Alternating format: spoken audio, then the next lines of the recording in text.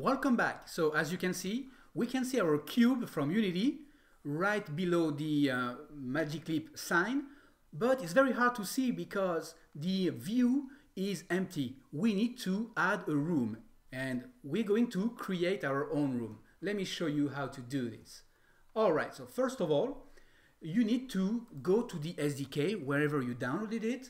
Here is the ML SDK. I'm going to double click on it, v0.11, and I'm going to the virtual device and here I'm going to select the bin directory and now I'm going to select the virtual room generator.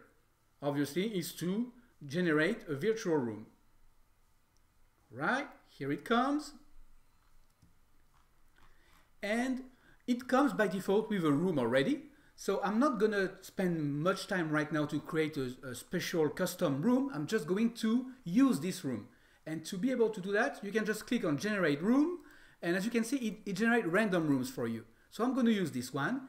And the secret here is to click on export.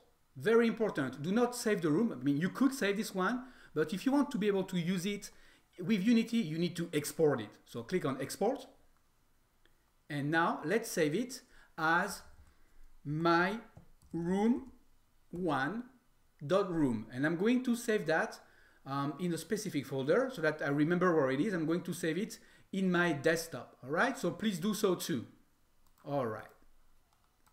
Okay? So now that it's saved I'm going to use that in the Magic Leap remote. So launch the Magic Leap remote and here you will see a weird sign that says load virtual room. By the way all these symbols may be different in your version because this is a very uh, alpha slash beta version and things are about to change for sure.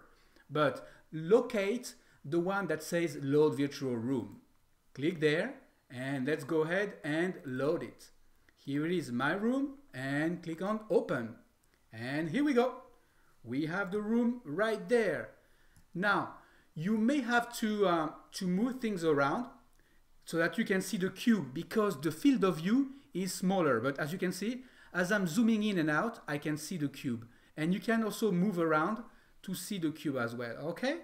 All right, so at this point, you have your whole environment set up to be able to make your own game and apps with the Magic Leap interface.